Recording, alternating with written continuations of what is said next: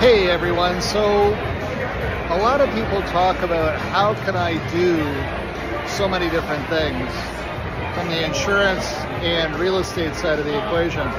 But in reality, I do one thing, and that's help people.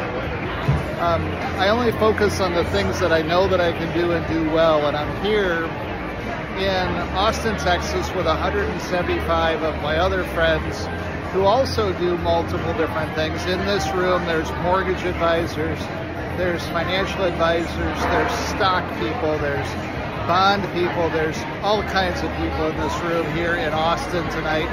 We're here just celebrating the year.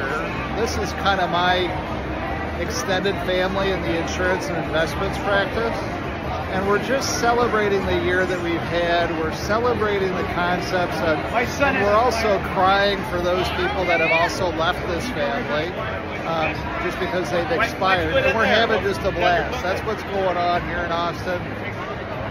And it's a way for all of us just to let our hair down and celebrate the year that's been. In my insurance and investments practice, it's not a great big thing. It's not but it's about helping people. And that's what this room is all about as well. So just wanted to say hey from Austin. That's what's going on. I'll be back home Friday. Saturday I have an estate I've got to start cleaning out.